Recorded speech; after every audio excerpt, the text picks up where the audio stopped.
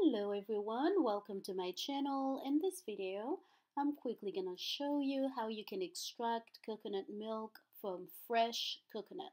So here I'm gonna break my coconut and then we're gonna remove it from that hard shell. Okay, here it is. And then we're gonna slice our coconut into pieces so that way they can agitate pretty well in the blender and turn into that delicious milk. Okay, so enjoy the video. And if you are new to my channel, please consider subscribing. I'm trying to grow this channel out. Any support would be great. Give it thumbs up, rate, and comment. Thank you so much and enjoy the video.